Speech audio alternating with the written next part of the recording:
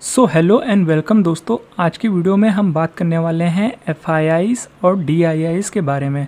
तो दोस्तों इस वीडियो में हम ये देखेंगे कि जो एफ़ और डी होते हैं, ये जनरली क्या होते हैं, कौन होते हैं, और जो हमारे सामने रोज़ डेली बेसिस में एफआईआई और डी का डेटा आता है, उसे जनरली हम कैसे स्टडी करना चाहिए और ये डेटा हमें जनरली क्या बताता है। तो ये सब सारी चीज़ों को हम इस वीडियो में कवर करने वाले हैं। तो दोस्तों, अगर हम मार्केट में किसी भी तरीके से जुड़े हुए हैं, हम चाहे ई e में निवेश करते हो या फिर डायरेक्ट डायरेक्ट स्टॉक में निवेश करते हों या फिर म्यूचुअल फंड के थ्रू निवेश करते हों तो हमें इन छोटी छोटी बातों का पता होना चाहिए कि ये सब चीज़ें कैसे काम करती हैं। तो दोस्तों, वीडियो को शुरू करने से पहले अगर आप चैनल पे पहली बार विज़िट कर रहे हैं तो चैनल को ज़रूर सब्सक्राइब कर दीजिए, इससे आपको हमारे चैनल से लेटेस्ट वीडियो सबसे पहले मिलते रहेंगे। तो चलिए सबसे पहले बात कर लेते हैं जो ये एफआईआई और डी होते हैं तो जनरली ये कौन होते हैं? तो सबसे पहले समझ लेते हैं दोस्तों इन्हीं को। तो दोस्तों इसे ऐसे समझते हैं, मार्केट में जनरली दो तरह के इन्वेस्टर्स होते हैं, पहला रिटेल इन्वेस्टर्स और दूसरा इंस्टीट्यूशनल इन्वेस्टर्स। तो दोस्तों रिटेल इन्वेस्टर्स में तो जनरली हम और आपके जैसे एक आम निवेशक आते हैं, जो अपना फंड जनरली खुद मैनेज करते हैं। तो रिटेल इन्वेस्टर तो आपको खैर पता ही होगा। तो चलिए अब बात कर लेते हैं इंस्टीट्यूशनल इन्वेस्टर्स में जो दो तरह के लोग आते हैं एफआईआई और डी इसे समझ लेते हैं। तो इंस्टीट्यूशनल इन्वेस्टर में दो तरह के ही लोग आते हैं एफ़ और डी और जिसमें कि एफआईआई का फुल फॉर्म होता है फॉरेन इंस्टीट्यूशनल इन्वेस्टर और वहीं डी का फुल फॉर्म होता है डोमेस्टिक इंस्टीट्यूशनल इन्वेस्टर तो सबसे पहले बात कर लेते हैं एफआईआई की। तो दोस्तों, अगर हम एफआईआई का एग्ज़ाम्पल दे के आपको समझाने की कोशिश करें तो इसे हम ऐसे समझाते हैं दोस्तों। फॉर एग्ज़ाम्पल मान लेते हैं यूएसए में कोई एक इंश्योरेंस कंपनी है या फिर इन्वेस्टमेंट बैंक है या म्यूचुअल फंड हाउस है, जो यूएसए में ही रजिस्टर्ड है।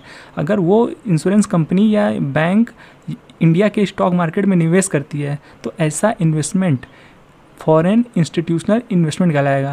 और वहीं बात की जाए डी आई की केस की तो ठीक इसका उल्टा कह सकते हैं कि फॉर एग्जांपल अगर इंडिया की कोई कंपनी है इंश्योरेंस कंपनी है, या फिर बैंक है, या फिर म्यूचुअल फंड हाउस है, अगर इंडिया का ही कोई इन्वेस्टमेंट बैंक अगर अपने ही इंडिया में कोई स्टॉक में निवेश करता है तो ऐसे में ये जो इन्वेस्टमेंट कहलाएगा तो वो डोमेस्टिक इंस्टीट्यूशनल इन्वेस्टमेंट कहलाएगा, यानी खुद की कंट्री में निवेश करना एक तरह से डीआईएस कहलाता है।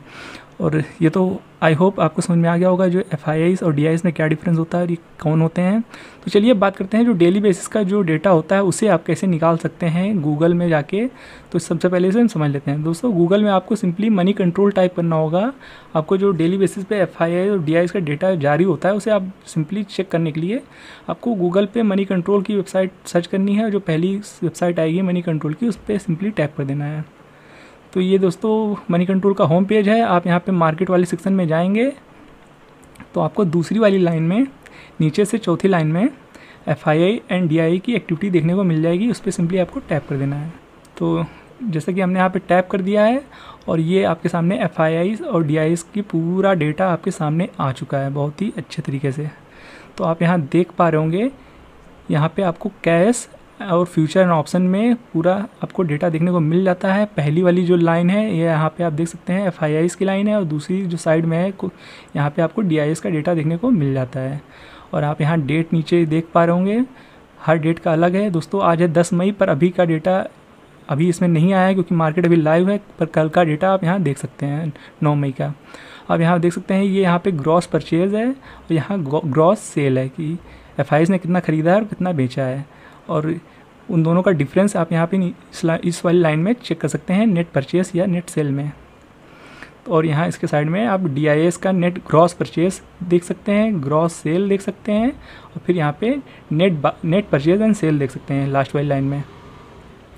तो जैसे कि फॉर एग्जांपल अगर हम बात करें 9 मई का तो आप यहाँ देख पा रहे होंगे 9000 से नौ हज़ार करोड़ के ऊपर की खरीदारी की है एफ़ ने, और सात हज़ार करोड़ के ऊपर की सेल की है कल के दिन। और जो नेट सेल है सॉरी नेट परचेज है, वो उन्नीस सौ बयालीस करोड़ का है, क्योंकि दोस्तों ख़रीदा ज़्यादा है एफआईआई वालों ने और बेचा कम है। तो इन दोनों का डिफरेंस निकालेंगे। तो पॉजिटिव में उन्नीस सौ करोड़ का ख़रीदारी की है कल के दिन एफ़ वालों ने। और वहीं बात की जाए डी वालों ने तो सात हज़ार के ऊपर का, सात हज़ार करोड़ के ऊपर की खरीदारी की है डी ने। और वहीं सेल की बात की जाए तो छः हज़ार सात सौ करोड़ के ऊपर की बिकवाली की है। तो यहाँ पे अगर नेट परचेज देखेंगे तो चार चार सौ चार करोड़ का नेट परचेज निकल के आता है इन दोनों के डिफरेंस अगर चेक करेंगे तो। जैसा कि ख़रीदारी ज़्यादा है एक्स कंपेयर टू बिकवाली में तो ख़रीदारी में ग्रीन में आप यहाँ देख सकते हैं 404 करोड़ का ख़रीदारी की है।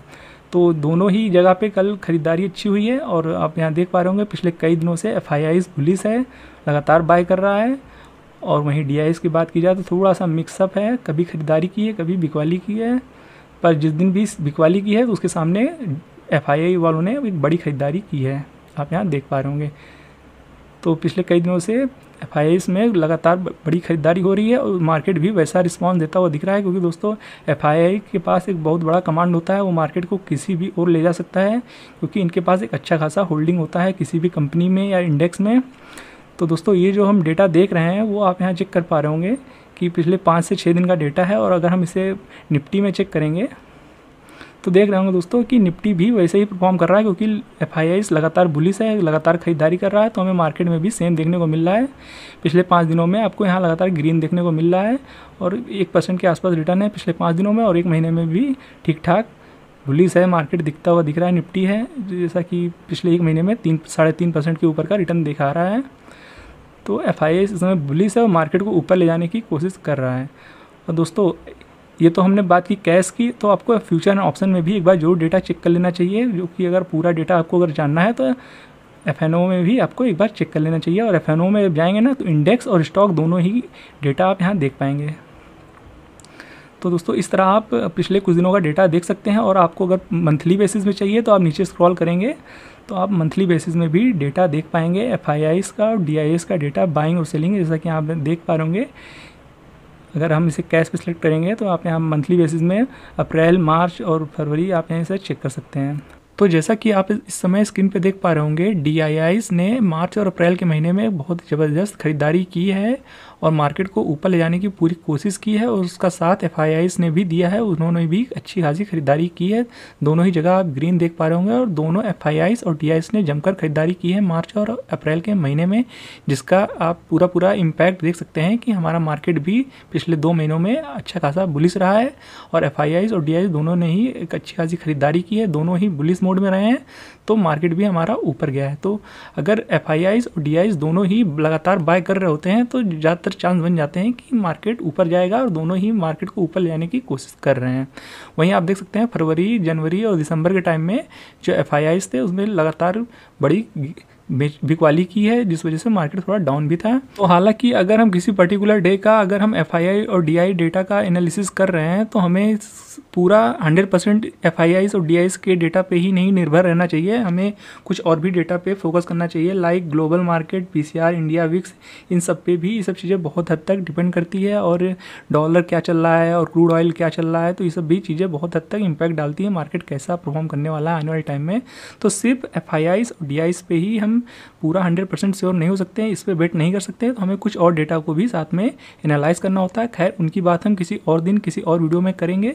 तो आज की वीडियो में हमने फ़िलहाल देख लिया है कि एफआईआई और डी का डेटा कैसे स्टडी करते हैं। अगर किसी पर्टिकुलर डे एफआईआई और डीआई दोनों ही बाय करते हैं एक अच्छी खासी क्वान्टिटी में तो इससे एक अच्छा सेंटिमेंट समझा जाता है मार्केट में, मार्केट के लिए कि मार्केट अब यहाँ से ऊपर जा सकता है। अगर लगातार एफ़ आई खरीदारी कर रहे हैं तो इसका मतलब है कि दोनों ही मार्केट को ऊपर ले आने की कोशिश कर रहे हैं। वहीं अगर कोई D I I F I बड़ी बिकवाली कर रहा है तो हम इसे वो भी लगातार बिकवाली कर रहा है। तो इसमें हम एक निष्कर्ष निकाल सकते हैं कि कोई वो जो एफ़ आई आई है या डी आई है जो बिकवाली कर रहा है, वो मार्केट को नीचे ले जाने की कोशिश कर रहा है या फिर उसे ऐसा लगता है कि आने वाले टाइम में मार्केट नीचे जा सकता है। तो ये था आज का वीडियो एफआईआई और डीआईएस के बारे में। इस वीडियो में हमने जनरली सीखा है एफ़ और डीआईएस कौन होते हैं और इनका जो एफआईआई और डीआई का जो डेली डेटा होता है, इसे हमें ऑनलाइन कैसे निकालना होता है और इनका डेटा जनरली हमें क्या बताता है और हम इससे क्या एनालिसिस कर सकते हैं आने वाले टाइम के लिए। तो आई होप दोस्तों ये वीडियो आपको अच्छे से समझ में आ गया होगा। तो अगर आपने वीडियो यहाँ तक देखा और वीडियो आपको पसंद आया तो वीडियो को लाइक और चैनल को सब्सक्राइब करना बिल्कुल भी मत भूलिएगा। मिलते हैं नेक्स्ट वीडियो में, तब तक के लिए गुड बाय